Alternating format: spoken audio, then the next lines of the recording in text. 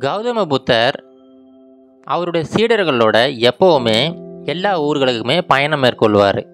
ஒவ்வொரு ஊர்லேயுமே போயிட்டு அங்கே ஒரு சில நாட்கள் தங்கி அங்கே இருக்கிற எல்லா மக்கள்கிட்டையுமே நல்லா பழகுவார் நல்லா பேசுவார். அவங்கக்கிட்ட எல்லா உபதேசங்களுமே பண்ணுவார். இது எப்போவுமே வழக்கமாக நடக்கிறது தான் இப்போ ஒரு சமயம் ஒரு ஊரில் இருந்து இன்னொரு ஊருக்கு பயணம் மேற்கொண்டுக்கிட்டு இருந்தார். அது ரொம்ப நெடுந்தூர பயணமாக இருந்துச்சு. அது போகிற வழியில் பார்த்தீங்கன்னா அவ்வளோவா வீடுகள் எதுவுமே கிடையாது. அதனால இவங்க தேவையான தண்ணி சாப்பாடு எல்லாமே எடுத்துக்கிட்டு அங்கேருந்து கிளம்புறாங்க. ஆனால் போகும்போது அந்த நாள் எப்பவும் இல்லாமல் ரொம்ப வெப்பமான ஒரு நாளாக இருந்துச்சு. அதனால் இவங்க எடுத்துகிட்டு போன அந்த தண்ணி ரொம்ப சீக்கிரமாகவே தீர்ந்து போயிடுச்சு. இப்போ பக்கத்தில் தேடி பார்க்குறாங்க எந்த ஒரு இடத்துலையுமே வீடுகள் எதுவுமே இல்லை. பக்கத்தில் எங்கேயுமே நீர்நிலைகள் இருக்கிற மாதிரியுமே தெரியல. இப்போ என்ன பண்ணுறதுன்னு தெரியாமல் அப்படியே தேடிக்கிட்டு போய்கிட்டே இருக்காங்க. அப்படி போகும்போது வழியில் ஒரு மனிதரை பார்க்குறாங்க. அவர்கிட்ட ஐயா இந்த மாதிரி தண்ணீர் இங்கே எங்கே கிடைக்கும்? அப்படின்னு சொல்லிட்டு கேட்குறாங்க சரி அந்த மனிதருமே இப்படியே கொஞ்சம் தூரம் போங்க. அங்கே போனீங்கன்னா அங்கே ஒரு சின்ன குளம் இருக்குது. அதில் நல்ல தண்ணி தான் இருக்கும். அதை நீங்கள் குடிக்கலாம் அப்படின்னு சொல்லிட்டு அவருமே வழி சொல்லி விடுறாரு.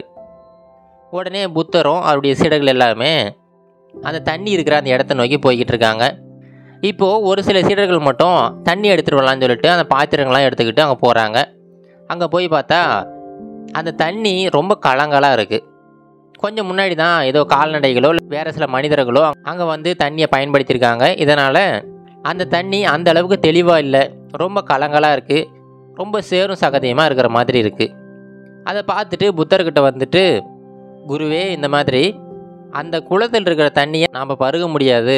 அந்த தண்ணி வந்து ரொம்ப அழுக்காக இருக்குது ரொம்ப கலங்கலாக இருக்குது நாம் வேற எங்கேயாவது போய் தண்ணி வாங்கிக்கலாம் அப்படின்னு சொல்லிட்டு அந்த சீடர்கள் சொல்கிறாங்க இதை கேட்ட உடனே புத்தர் என்ன சொல்கிறாருன்னா அது ஒன்றும் இல்லைப்பா நீங்கள் இன்னும் ஒரு கொஞ்ச நேரம் வெயிட் பண்ணுங்கள் ஒரு அரை மணி நேரமோ இல்லை ஒரு மணி நேரமோ வெயிட் பண்ணுங்கள் கொஞ்ச நேரம் காத்திருந்ததுக்கப்புறமா மறுபடியும் போயிட்டு அந்த குளத்தில் பாருங்கள் அப்படின்னு சொல்லிட்டு சொல்கிறாரு அவர் சொன்னதுபடியே அங்கே இருக்கிற எல்லா சீடர்களுமே அங்கேயே கொஞ்சம் நேரம் வெயிட் பண்ணிக்கிட்டு இருக்காங்க. ஒரு அரை மணி நேரம் கழிச்சதுக்கப்புறமா அந்த சீடர்கள் மறுபடியும் தண்ணி எடுத்துகிட்டு வர்றதுக்காக அந்த பாத்திரத்தை எடுத்துக்கிட்டு போகிறாங்க அங்கே போய் பார்த்தா ரொம்ப ஆச்சரியம். அந்த குளம் ரொம்ப தெளிவாக இருக்குது அடியில் இருக்கிற அந்த தரை கூட அவ்வளோ தெளிவாக தெரியுது. அந்த சுத்தமான தண்ணியை அந்த பாத்திரத்தில் எடுத்துகிட்டு வந்து அங்கே இருக்கிற எல்லா சீடர்களுக்குமே கொடுக்குறாங்க.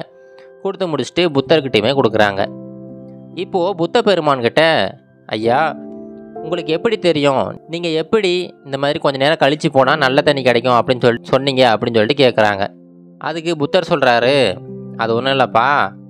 அந்த அழுக்கு அந்த சேறு சகதி இதெல்லாம் சொன்னீங்க பார்த்தீங்களா? இது எல்லாமே தண்ணியோட அடர்த்தி அதிகமானது தான்.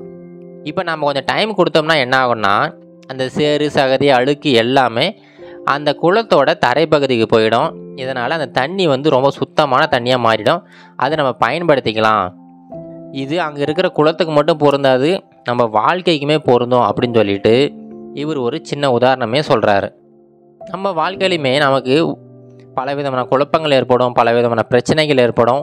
அந்த மாதிரி சமயங்களில் நம்ம மூளை இந்த குளம் மாதிரி ரொம்ப கலங்கி தான் இருக்கும் ரொம்ப அழுக்கு படிஞ்சு தான் இருக்கும். அந்த மாதிரி சமயத்தில் நம்ம மூளையை நம்ம பயன்படுத்தவே முடியாது. இப்போ எப்படி அந்த கலங்கிய தண்ணியை நம்மளால் பயன்படுத்த முடியலையோ அது போல தான் ஒரு குழப்பமான மனநிலையில் இருக்கிற நம்மளுடைய எண்ணங்களை நம்மளால் சரியாக பயன்படுத்த முடியாது. அந்த மாதிரி சூழ்நிலையில் நாம் எடுக்கிற முடிவுகளாகட்டும் நம்ம செய்கிற செயல்களாகட்டும் அது எல்லாமே தவறாக போகிறதுக்கான சாத்தியக்கூறுகள் ரொம்ப அதிகமாக இருக்கும். அதுவே நீங்கள் எப்போல்லாம் இந்த மாதிரி ஒரு குழப்பமான மனநிலையில் இருக்கீங்களோ அப்போ கொஞ்சம் டைம் கொடுங்க. ஒரு சில மணி நேரங்கள் கழித்து ஒரு அமைதியான ஒரு நிலை வந்ததுக்கப்புறமா நீங்கள் முடிவு எடுத்தீங்கன்னா கண்டிப்பாக அந்த முடிவு நல்ல முடிவாக இருக்கும்.